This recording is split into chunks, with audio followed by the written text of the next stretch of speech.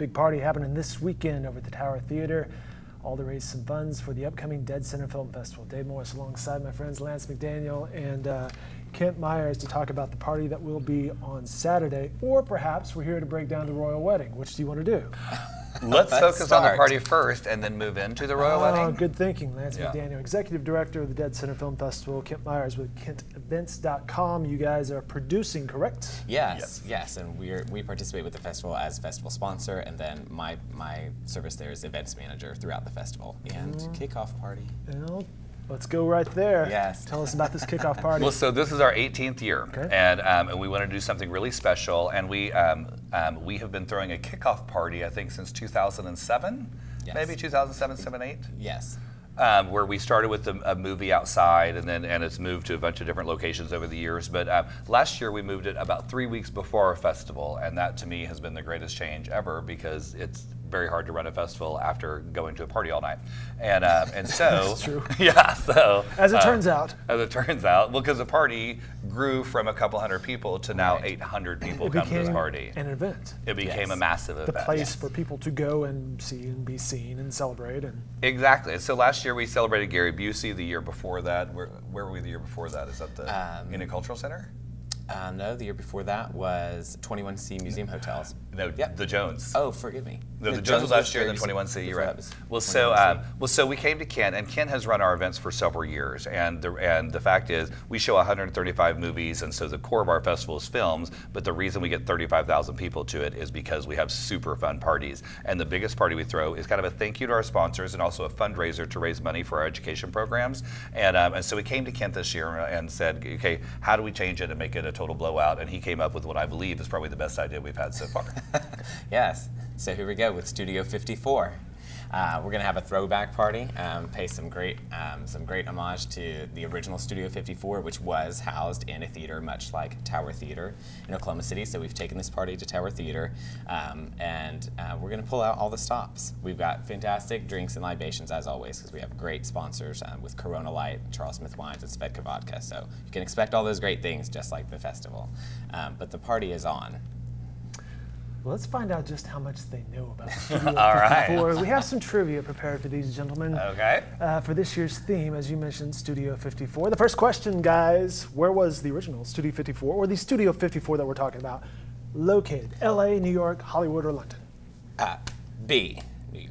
Going New York. Exactly. Going New- Yes. Correct. It was in New York. Pretty obvious. Yeah, that was a good one. All There's, right. there's only All right. three questions here. uh, Exactly. we'll move on to that second question. Okay. What type of club was it? Punk, disco, perhaps country? Was it heavy metal? I'll answer that one. It was a very proud disco club, and so we are bringing back the disco this this Saturday. Absolutely. Uh, there will be some modern music too, but we're gonna have a lot of disco, a lot of songs from the 70s and 80s. Um, Blako is the DJ. Yes. We've got tons of dancers. Race dance is gonna be there. Cool. Yes. Yeah. She's all does a great job. She yeah, He Shapoos Yep. is amazing, and she and I actually have a movie in the festival this year. That's a VR movie as well, and she choreographed all of it. Very So, nice. yeah, she yeah, does a great job with the Hip Hop Nutcracker, which I believe is the last time I caught up with her. Yeah, her and she well, so now she's moved, so she's down on Film Row. Right, So she cool. is she is opposite our office on Film Row, and they're leading hip hop and breakdancing classes there all week. So so sign up and learn how to hip hop. No one wants to see me try to hip hop. uh, we have one more question for you guys. Okay. There it is. When did, this is a last trick question, time. by the way, when did it close its doors for the last time? because that theater is open today as a venue and performance theater. So I don't know with that, and I didn't memorize. The I would say multiple choice. 86. And you are correct. It is Yes! 86. I, of course, you know, as clubs do, it's closed multiple times. Yes. And quite the scandalous past. Well, exactly. Well, there's a great movie about it, and um, and what I, I don't know if everyone knows this, but Ian Schrager was the co-founder. It was Steve Rubell and Ian Schrager, and Ian Schrager started the Royalton Hotel, the Paramount Hotel, the Standard Hotel, and so he is a kind of a pioneer and visionary within the hotel space, and um, and um, but they. They both went to prison because there were some shady dealings. There was a lot of money studio. going on at There was a ton of money, Yeah. and a lot of it was exchanged in cash, and all of that was as as. There may have been some reported as it could spoons involved as well, but there, was a whole, there there is a lot going on that won't be going on at our party. But Gotcha. what will be going on at our party is um, all the revelry. So we think it's going to be a super fun night. We get we anticipate about 700 people. Yes. I think, Yes. and so yeah, so it's, It's a a big big party. party, yeah. It's a hundred dollars, and so and people were asking, okay, so why is it hundred dollars? Well, it's it's all you can drink and eat. There's uh, live performances. There's there's music all night, and it's a fundraiser. So part of the reason it's not a twenty dollar ticket is we're trying to raise money to, to support Oklahoma's largest film festival, and also to pay for the free education program that we do year round in rural Oklahoma. I so I go to high ask you more yeah. about that because a lot of times when we catch up, maybe it's with uh, Tabasovsky on, Yes. the, on the, the monthly film and music segment we have here. You're out and about the state preaching the gospel to the students or talking film with them, but tell us a little bit more about the education program. Well, so our education program has changed a little bit over the years. So Kim Haywood and I started it together, um, uh, started this program together about seven years ago, and we go around to 30 high schools around the state. And our goal is to start in Guymon and go to Miami and down to Durant. And we're trying to go as far as possible to reach people that aren't necessarily being influenced by the stuff that's going on here in Oklahoma City. Um, and so, um, so the first few years, it was us teaching them how to make movies. And then what we what we realized over time is the exercises we came up with really do a better job of getting all the students engaged in talking and, and speaking and collaborating and, and thinking differently. And so now we when we go to these schools, our goal is to get students up, standing up five times per class period, saying their name, collaborating with someone that they don't normally collaborate with, coming up with ideas that they're not otherwise exploring in school. And so the teachers love it because it's just getting kids to think differently. And um, and so um, all the schools we go to invite us back, and it's a it's a really good time. And we'll start back in August and start on the road. Well, Dead Center Film Festival that we're alluding to is coming up. It's June 7th through the 10th, various locations uh, around the urban core. The party we're talking about, the, uh, the kickoff party, is Saturday night at the Tower Theater, uh, 8 o'clock, I believe. You've got it. Is the start time. And I have one question for you guys. Yes. Um, will there be glitter? And, and I mention this because uh, the, the gentlemen that you were talking about, Robert Isabell and uh, Ian Schrager, back at the original Studio 54, that's one of the legends that they dumped so much glitter on the floor. There's like four inches of glitter that they. The quote was, "He was like standing on stardust."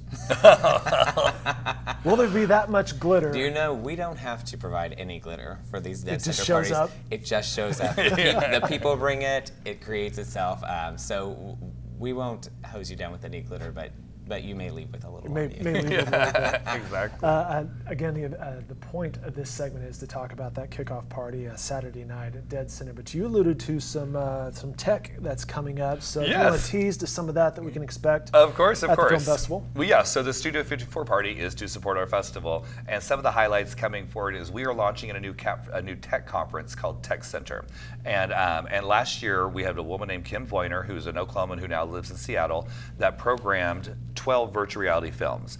And 800 people went through and experienced it, and that's where you put on the headsets, and it's everything's in 360, and it was awesome, blew me away. So I went and actually made a, a 360 film this summer. I was so impressed by it, which will be playing this year. But so she's coming back with Don't a you do that films. sometimes, Kindt? You're like, I'm so impressed with something, I'm going to go produce a film. Skip away. Make it happen. exactly. Impressive. Uh, and uh, yes, it's, and, and I actually hired her. She flew back from Seattle and went to Alva. We made it in Alva as a community art project, and it was awesome. It was a great experience there where I'm from.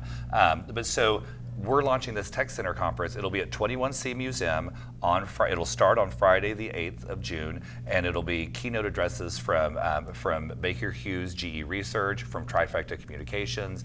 Um, we have we're going to talk about drones, virtual reality, and augmented reality. And what's been so exciting is we came at it from a film perspective, thinking that these are the three technologies that are really kind of revolutionizing what films look like, and um, and where films are headed in the future.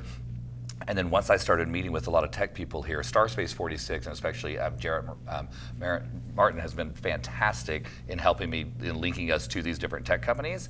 And so um, now that I'm meeting with them, like there's an architecture firm, ADG, that'll be presenting at the conference that can build your entire structure in virtual in the virtual world before they lay a single brick, so that you can do a walkthrough of what you would be doing with They the building. see cost savings, It's time amazing. savings, And then, uh, and then, I mean, there, we're going to have a robot from Stillwater. Like, we're going to have all sorts of really cool technology, and all of it is being created right here in Oklahoma. And so, we're very excited to highlight the tech industry here in Oklahoma. And the goal with this tech conference is to start it, run it for a couple years, and then spin it out into its own conference. So that Dead Center is a film festival, and then we have a tech, and then we have an actual full, like, full week tech conference going on. And I don't know who will run that, but basically, we're going to try to incubate it for two years and then spin it out. So. Amazing how it's kind of evolved over 18 years, right? In 18 years, but but I, th- I mean I think that's true for all businesses. Is you've got to constantly look at what you're providing people, what your customers are looking for, and I think what people come to Dead Center for is film and excitement. And so for us to really amp up that excitement and for us to stay relevant in film, we need to know what's next with film, and what's next right now is virtual reality, augmented reality. Interesting stuff. The Dead Center Film Festival heading your way. June 7th through the 10th. You can find out information uh, at deadcenterfilm.org. The big party, the kickoff party, is this weekend. There's the deadcenterfilm.org website. The uh, annual kickoff party is this weekend. It's Saturday night, 8 p.m. Tower Theater.